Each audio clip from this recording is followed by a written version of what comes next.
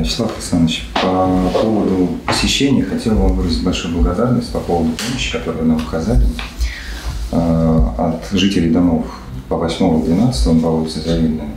Практически ну, 70% уже оформили право собственности, и кадастровая служба работает теперь ну, как бы в регламенте.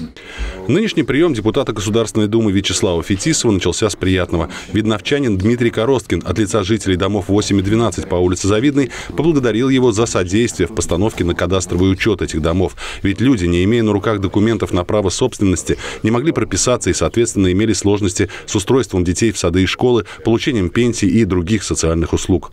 Такие встречи дают свои результаты. Это я вижу на своем опыте. Многие жители, которые мучились с правом собственности в наших домах, они вопрос свой решили. Было это решено быстро.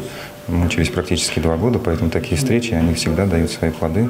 Но кроме этого Дмитрий озвучил одну из проблем, которая волнует, наверное, каждого жителя Ленинского городского округа. Это запах от выбросов завода «Москокс». Как рассказал глава округа Дмитрий Оборенов, ситуация с выбросами обсуждается на уровне правительства Московской области. Главная задача – сохранить предприятия и рабочие места с одной стороны, а с другой – убедить владельца завода провести глубокую реконструкцию оборудования. В интересах же того же собственника, да, чтобы э, провести модернизацию сохранить рабочие места и самое главное, ну, спрос на продукцию. Похоже, э, ну, достаточно, чтобы просчитать и вложиться.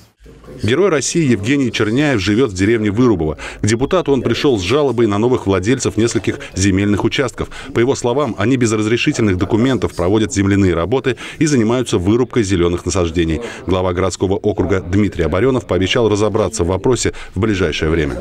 Я сразу скажу, мне вот после того, как у Вячеслава Александровича был первый прием а по Ростовгору какой-то вопрос встал, мы остановили выдачу порубочных билетов. То есть, если видите, где-то рубят лес, Сто процентов нет разрешения. Совместный прием граждан представителями Госдумы и руководства муниципалитета позволяет значительно сократить время решения насущных проблем граждан. Для того, чтобы пообщаться с депутатом, необходима предварительная запись. Впрочем, и тех, кто придет без нее. Вячеслав Фетисов тоже не оставит без внимания. Максим Козлов, Сергей Ларин, Видное ТВ.